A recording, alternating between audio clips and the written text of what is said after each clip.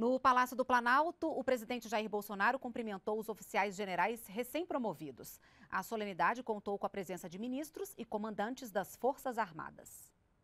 Os novos oficiais generais do Exército, da Marinha e da Aeronáutica receberam os cumprimentos do presidente Jair Bolsonaro em uma cerimônia nesta quinta-feira no Palácio do Planalto.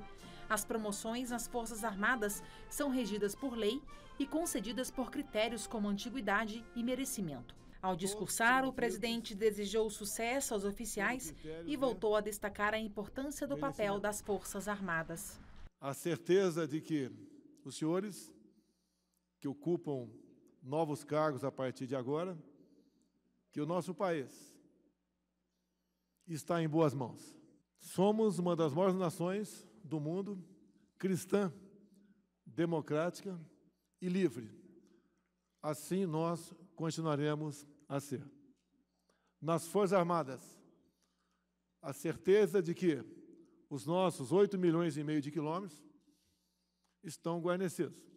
As Forças Armadas têm como missão defender a pátria e garantir a preservação da lei e da ordem. Dentre os trabalhos realizados estão as operações em faixas de fronteira, o apoio ao enfrentamento de doenças como a Covid-19, a construção de estradas e obras de engenharia em todo o país e o apoio à preservação do meio ambiente.